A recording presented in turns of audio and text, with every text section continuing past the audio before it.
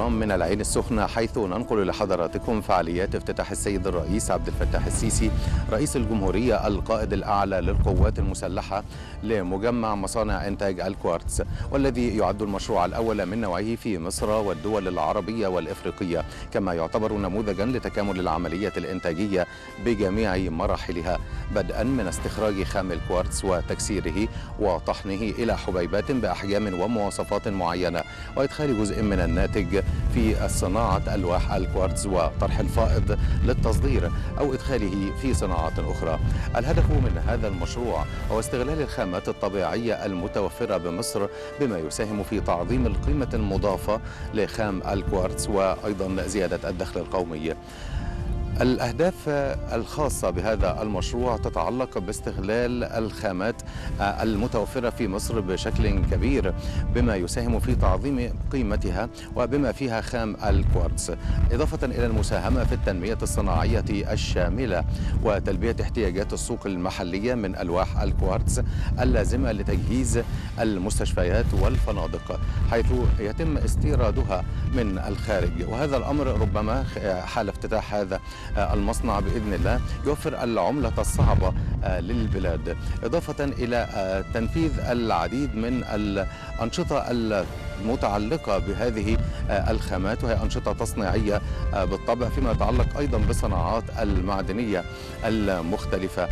فالكوارتز يعد من الخامات المهمة عالية الفائدة والتي تعود بالنفع مثل باقي الخامات الموجودة في مصر والتي تسخر بها بشكل كبير خاصة المعدنية منها والانعكاسات الإيجابية التي تتعلق بها. ومن ضمن هذه الأمور دعم الاقتصاد الوطني بتنفيذ مشروعات قومية واستراتيجية إضافة إلى خلق فرص عمل للشباب والحفاظ على الثروات التعدينية بمختلف أنحاء الجمهورية. إضافة إلى طرح الفائض من إنتاج هذا الخام على سبيل المثال هو من ضمن الخامات العديدة الموجودة في مصر وخام الكوارتز المطحون وكذا ألواح الكوارتز للبيع بالأسواق الدولية. هذا المشروع مشاهدينا الكرام يشتمل على خمسة مصانع مصنع التكسير الأولي لخام الكوارتز بمنطقة منجم الكوارتز بالسويقات بمرسى علم إضافة إلى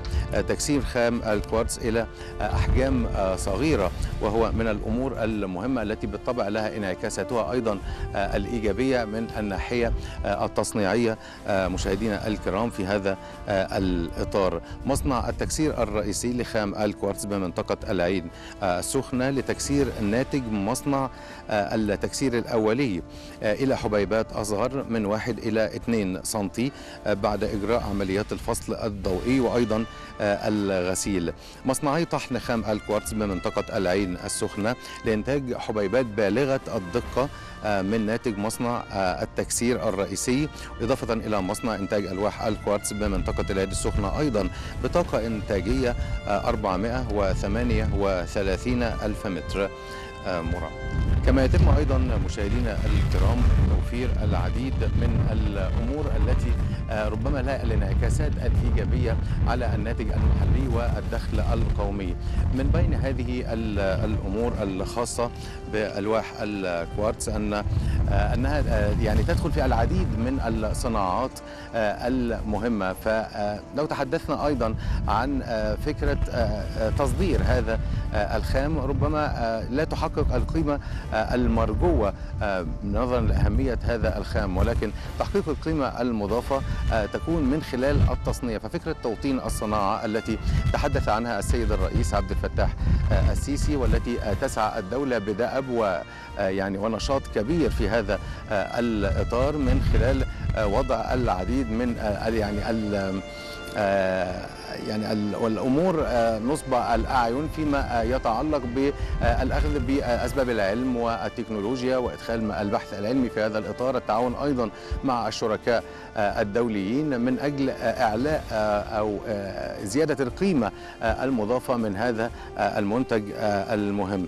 أيضا توفير أكثر من 600 فرصة عمل مباشرة وأكثر من 2000 فرصة عمل غير مباشرة وهي من الأمور المهمة التي تعنى بها. بها الدولة بشكل كبير من خلال إقامة مثل هذه المشروعات. أيضا تم اتخاذ جميع الآليات التي تضمن الحفاظ على البيئة بدءا من استخدام مصادر الطاقة النظيفة كالكهرباء والغاز الطبيعي لتشغيل الغلايات. كما تم إنشاء محطة تحلية مياه بطاقة 100 متر مكعب يوميا ومحطة إعادة تدوير المياه التي تستخدم في خطوط الإنتاج لتقليل الهدر من المياه باعتبارها أحد الثروات الطبيعية التي يتم الاعتماد عليها بشكل أساسي وكبير في هذه المرحلة. فهي تعد دعم للصناعة وتوطين أيضا للصناعة في مصر. تم الاعتماد في إمداد مصنع الكوارتز على الكهرباء من فائض التعاقد بين شركة القناة لتوزيع الكهرباء.